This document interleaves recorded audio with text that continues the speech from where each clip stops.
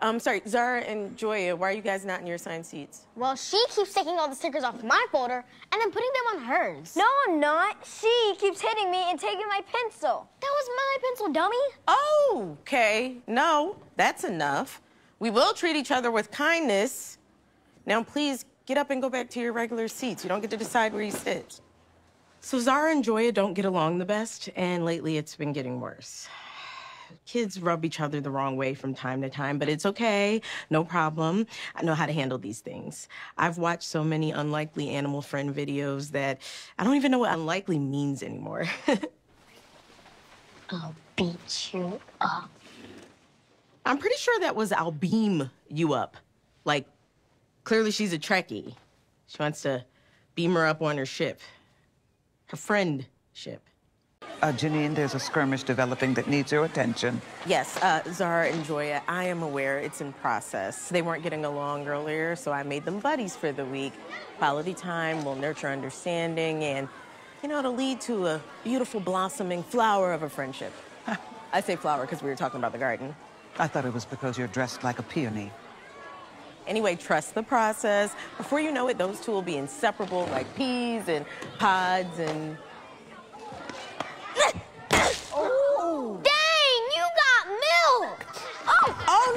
no, no, no, no, no, no, no.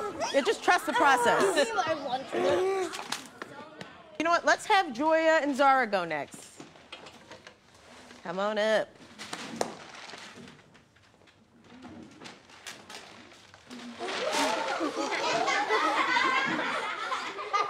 Here you can see that Joya is full of poop.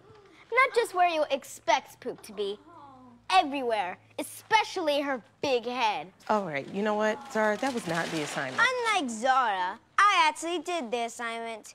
You can see she likes gum, Gucci flip-flops, and Roblox. Okay, now that was actually what I was. I'm not done. I want to talk about the outside too. Smelly breath, smelly farts, smelly pits. Because she stinks. Whoa! You know what? That's the final straw. Do you two want to watch Toy Story tomorrow?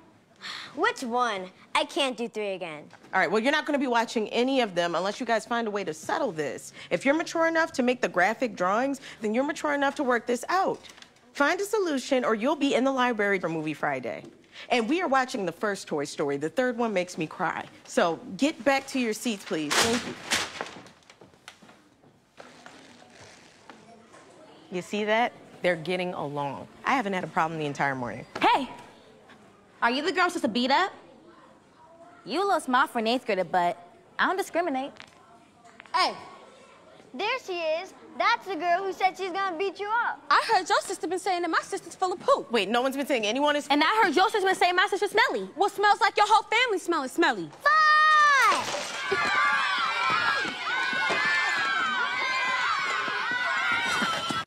Sorry, sis. Mine scared and don't have her in the eighth grade. She can't help you. Okay, I am a full-grown woman, and there's a better way to handle this, girls. Below the belt, Kiki! Smash her like she smashed my milk.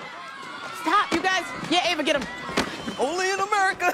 hey, hey, relax. This is designer. What in the earth, wind, and fire is going on here? Yeah, I don't know. Zara, Joya, I asked you guys to handle this, and you said you came to an agreement. Yeah, we agreed that our sisters will fight each other. Shame to see my queens fight. But I thought Miss Teague was gonna get mollywopped.